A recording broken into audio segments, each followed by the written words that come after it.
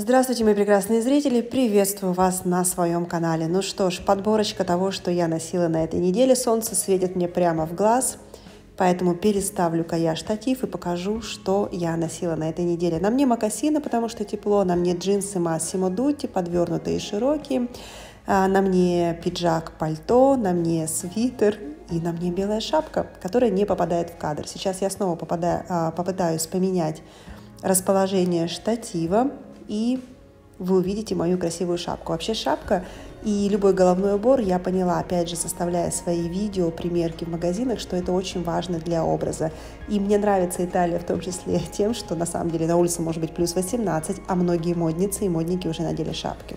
Ну что ж, я в шапке, шапку видно, шапка связана на заказ. Теперь мои ноги не попадают в кадр. Часто мне пишут, Яна, почему ты обрезаешь себе ноги?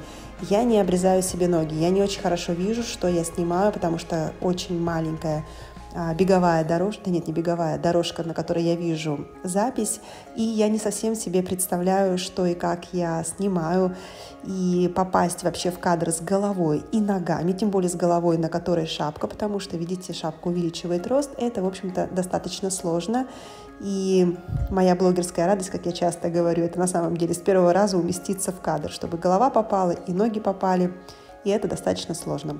Ну что ж, следующий мой образ. Таким образом я принарядилась, чтобы поехать в Венецию, чтобы не замерзнуть, но в то же время жарко бы не было, потому что в Венеции я очень быстро хожу, я все время тороплюсь и всегда боюсь, что мне будет не столько холодно, сколько жарко и придется снимать пальто и нести его в руках, это очень неудобно. На мне ботинки, все, кто переживал за то, что я мерзну, вот иногда все-таки я их надеваю.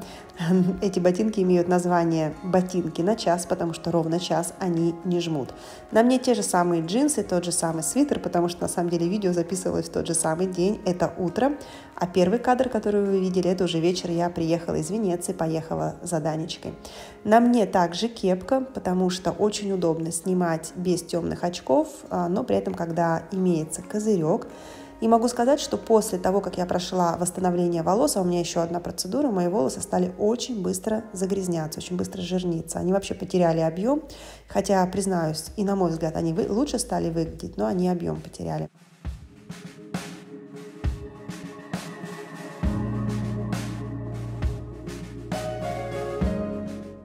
Следующий мой лук, что называется, все то же самое, только с другой стороны. Я только сейчас поняла, что, по всей видимости, эти джинсы мне пришлись по вкусу, и, как я часто рассказываю, вот если что-то мне нравится, я прям таки ношу, не снимая. Другое пальто, оно двустороннее. Многие написали, Яна, ты любишь пальто в клетку, но говоришь, что у тебя нет, и вот у тебя пальто в клетку. Действительно, но оно двустороннее. То есть одно, с одной стороны синее, и, как правило, я ношу его именно синей стороной. Ну что ж, следующий образ тоже многие видели. Так я принарядилась, чтобы пойти с мужем на прогулку. И вот так получилось, что уже на следующий день а, новая ординанса, новый декрет, э, точнее новое распоряжение запретило нам гулять и прогуливаться в центре города в выходные дни, хотя это был не выходной день, но мы с мужем очень хорошо прогулялись, а ресторан, в который мы поехали, оказался закрыт. Мы предварительно не позвонили, но сейчас на самом деле огромное количество мест закрывается, просто нерентабельно работать. В итоге мы поели там, где часто бываем с детьми, и сами увидите в ближайшем видео, какая еда была. Стало очень нравиться, когда из-под пальто, либо из-под любой верхней одежды, это может быть дубленка, как в моем случае, либо тренч, выглядывает юбка макси длины очень и очень из легкой ткани. Возможен шелк, либо полиэстер, который имитирует легкий шелк, органзу, шифон. Смотрится очень красиво, в особенности в движении.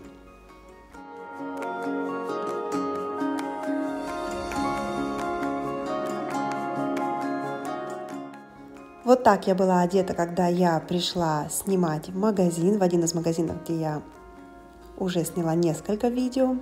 В общем-то, все то же самое, только на мне не джинсы, по всей видимости, на мне юбка. Да, на мне черная юбка, и вот таким образом я выглядела, и потом просто пальто застегнула, потому что когда шла по городу от парковки, было достаточно холодно. И это как раз-таки то пальто, которое двустороннее, которое чаще всего я ношу все-таки просто однотонной синей стороной наружу.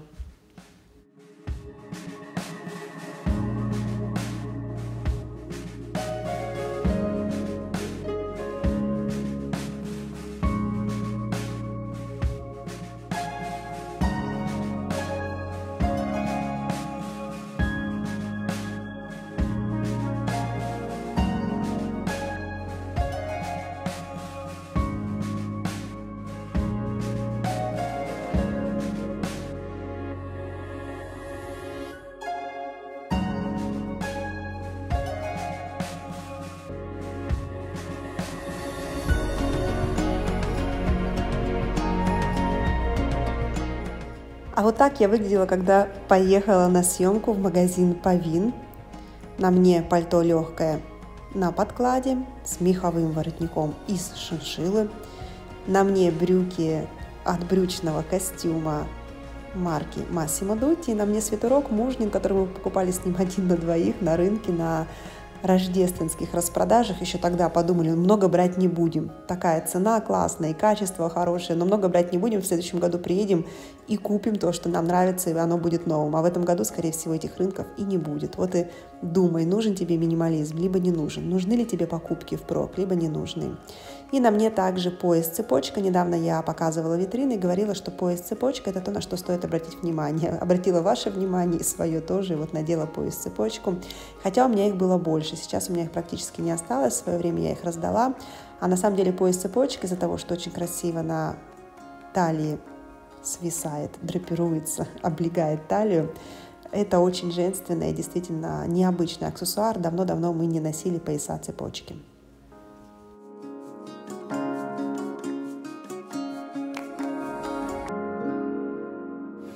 Я буду брать интервью. Посмотри на мои колготки и мокасины. Как тебе? Супер. Спасибо. Мне тоже показалось классно. Очень красиво. Спасибо большое. Ну что ж, вот он мой следующий лук. Я говорила, что мне нравятся цветные колготки. Более того, светлые колготки а, всех оттенков а, цвета яичной скорлупы, сливочного масла. Это то, на что я обращаю внимание ваше и свое, когда вижу на модницах. И могу сказать, что этот образ, он вдохновлен Макс Марой на самом деле и является практически стопроцентным а, луком от Макс Мары. Исключение это, конечно же, колготки и обувь. Но если вы посмотрите на подиумные коллекции, вы увидите, что Максмар очень часто прибегает к цветным колготкам. Часто я получаю критику по поводу подвернутых рукавов на своем пальто. Могу сказать, что если вы зайдете в магазин и примерите пальто Мануэла, вам всегда консультант подвернет вот таким образом рукава. Мне самой не очень нравится, потому что всегда выбивается подкладка, но вот как-то так. Хочу также обратить ваше внимание на то, а, как хлястик должен смотреться на пальто. Он должен быть чуть-чуть приспущенным. Но этому я научилась не в Максмаре. Очень часто хлястик вот так вот мы затягиваем, потом его так оставляем. Мы не обращаем на это внимания. А обратила я свое внимание, когда делала примерку недавно в магазине. Помните, на мне были белые брюки, а, белый свитер, точнее белая рубашка и свитер терракотовый, и белое пальто наброшено. Так вот, девушка в определенный момент подошла и поправила мне сзади хлястик. И с тех пор я сама тоже обращаю внимание на то, как хлястик смотрится на пальто и действительно красиво, когда он слегка-слегка свисает. И также покажу вам, как завязывают пальто, по крайней мере, если идет речь об этой модели. Никогда ее не запахивают на вас, всегда оставляют полы, что называется, в стык, полы пальто, и вот таким образом завязывают. Макс Мара предлагает всегда завязать на бант а, с одним ушком, наверное, так будет корректно сказать. Я всегда завязываю таким образом. Узел тогда крепкий, не развязывается. Потом руки в карманы нужно опустить и слегка раздвинуть еще полы пальто, тогда получится очень красивая драпировка. Ну что ж, сегодня вот так выглядит моя обувь и мои колготки. Мне почему-то кажется, что если колготки были бы в цвет обуви, это тоже было бы очень красиво, но найти розовые колготки крайне сложно. Нечаянно включила slow motion, поэтому придется посмотреть 20 секунд на мои прекрасные ноги. И пробуйте, внедряйте цветные колготки. Вы знаете, это действительно легкий бюджетный способ разнообразить свой осенне-зимний гардероб. Колготки могут сочетаться по цвету с одеждой, которая примыкает, то есть край юбки, край платья, край пальто, край пуховика, либо могут совпадать по цвету с обувью. Оба приема рабочие, смотрятся очень хорошо и в идеале, когда образ составлен таким образом, но этого очень сложно добиться, когда цвет колготок совпадает по цвету с одеждой, с краем одежды и также с обувью. Ну что ж, многие мне написали, этот отрывок уже многие видели, посмеялись от души, я думаю, так же, как и я, я люблю его пересматривать. Многие мне написали, вы куда, на рыбалку собрались? Нет, на видео отчетливо слышался шум дождя. У нас был проливной дождь, мне пришлось достать дождевик. Мой муж спросил, что у тебя за новый дождевик, но он на самом деле не новый. Ну и просто вот так, что называется, на злобу дня проливной дождь, поэтому кепку я надела, чтобы сохранить укладку, обувь закрытую, чтобы не промокнуть, чтобы дождь мне не попал и не промочил ноги, ну и дождевик, потому что пока сажаешь ребенка в машину, а, даже если ты держишь зонт, это не очень удобно, поэтому, в общем-то, на рыбалку мы не собирались, мы в сад поехали.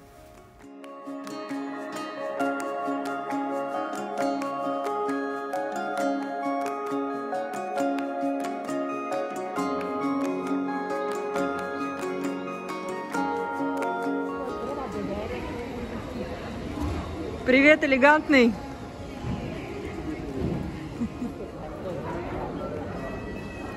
Ну что ж, вот так мы одевались на этой неделе. Опять я не попала с головой и с ногами в объектив. Часть обрезается всегда, но, повторюсь, как-то вот мне сложно всегда попасть. Желаю всем хорошего настроения и прекрасного дня. Это была Яна Скворцова. Всем пока-пока. Улыбочку.